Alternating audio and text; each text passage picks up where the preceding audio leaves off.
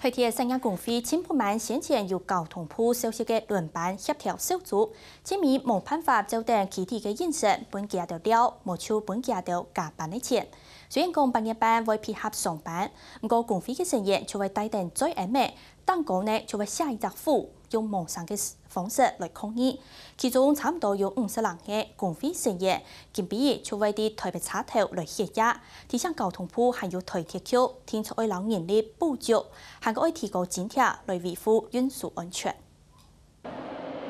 半夜半连续两日开始，多多民众排列等外卖车票，但实时看得到，天日线卖票的柜台就当多售票员，但进店的苦事嘅在 M 做网上的抗议。中海头台铁做些四年，半年前将靠到列车中嘅往神头，外停车不用来去，但是东岸歇困的时间无连日工时，都算系跨价，每间那补贴两点钟二百七十六票，实际是转到物卡好好歇困的机会冇几多。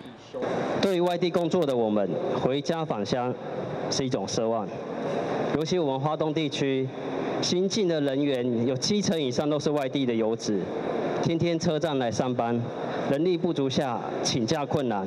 要请假回中南部返乡。根本就是不可能的任务。将会去暮年节，你家以为寄托，今日十四点钟，我个上班十二点钟，出现无法投入环境的些困难。台铁三亚公会讲，到上上礼拜交通部针对轮班寄托开个协调会，尽快无半天能具体的进行。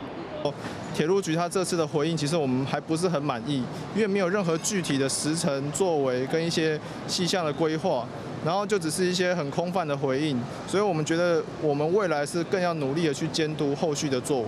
如果一直看不到具体的回应的话，我们当然会考虑，就是过年的时候我们再来行动。头半夜班台铁三亚公费管铺，外托下班的时间衰退台北车头，系希望提前交通铺，控制无人机半夜班廉价高配置结束，要求他做到补救年历，提高加班费。列部分台铁地挑过盘头协调，看看新闻分工二六月费同埋报道。